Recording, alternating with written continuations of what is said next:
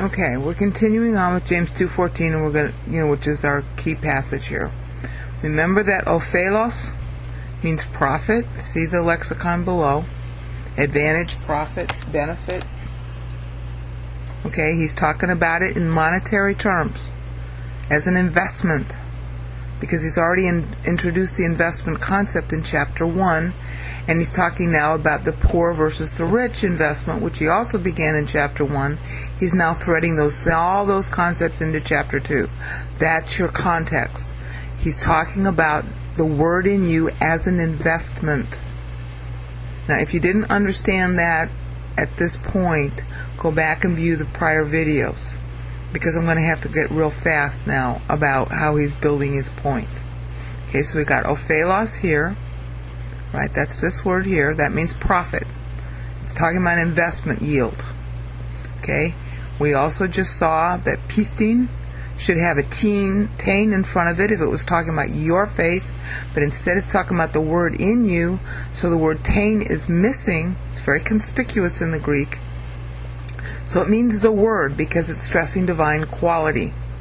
And then to go with that divine quality, we also have the word erga here, which is the, the accusative neuter plural common. You can see that in lower window.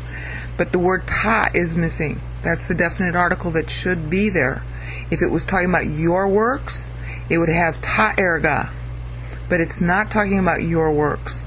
It's talking about God's works. Because it's talking about God's word.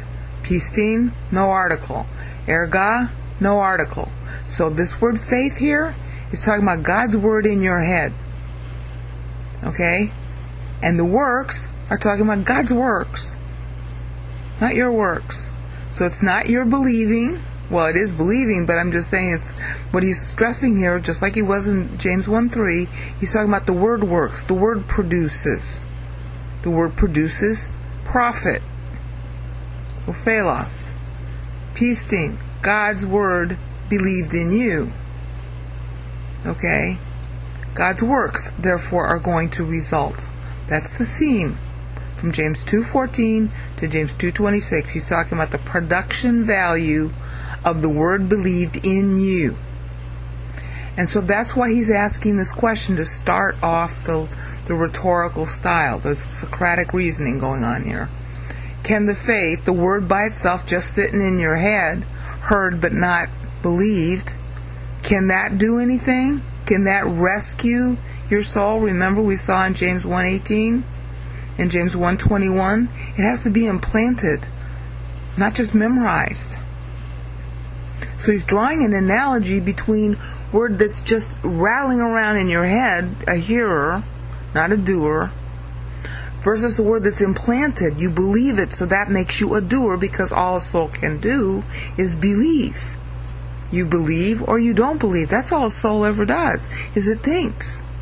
And it thinks pro, that means you believe, or it thinks con, that means you don't believe.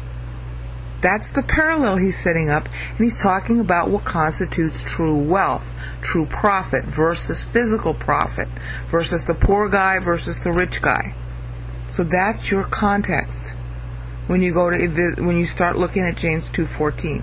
That's the actual Bible context, not what men say, but what the Bible's saying. And you and hopefully now you've seen the threads that he's brought through from chapter 1 in, in here into 2:14. So now we can go a little quicker now.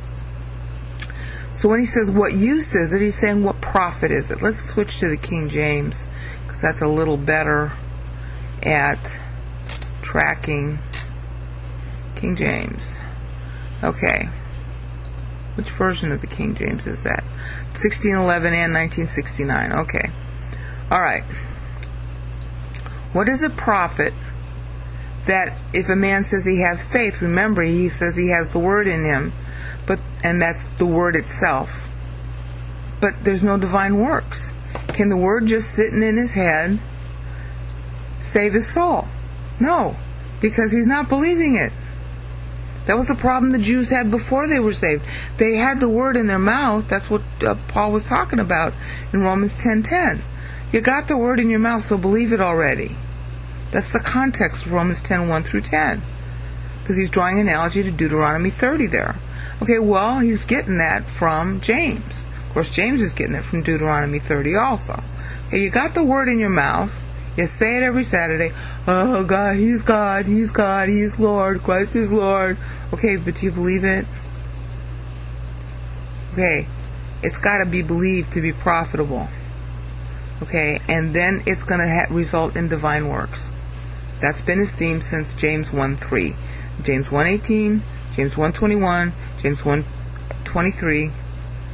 And then he's threading in James 1 9 and 10 on poor versus rich, and favoritism versus begging the question of what constitutes true wealth. Remember? This is how he starts James 2.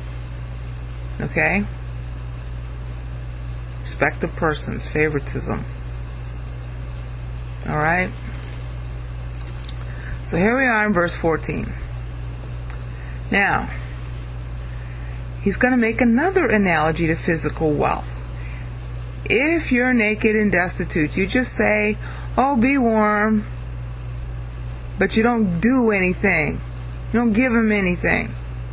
So, what's the profit in telling them? See, he's drawing an analogy to mouthing the words. Oh, you're mouthing words to them. You're not. There's no. There's no. You're just mouthing words. Yeah, just like they were mouthing words every Saturday. Adonai Eloheinu, the word is in my mouth, but I don't believe it. Blah blah blah. Okay, well then it's not productive. There's no profit. Just like there'd be no profit if somebody who was hungry came to you, and all you do is wish them well. That's an analogy to having the word in you that you hear, but you don't do. You don't believe it. Okay, so he's taking a soul analogy and translating it into a physical analogy. Where's the profit? Wishing them well is not going to make them get fed. All right? Now, what he's saying, and it is relevant here, is that since they're despising the poor guy, all right, if they're despising the poor guy so they won't even give him a good seat in church, do you think they're giving him any money for his hunger? Of course not. Ye have despised the poor. See? You're despising them. So he's going on with that because that's what they're doing. They're despising them. Okay? They're poor. All right?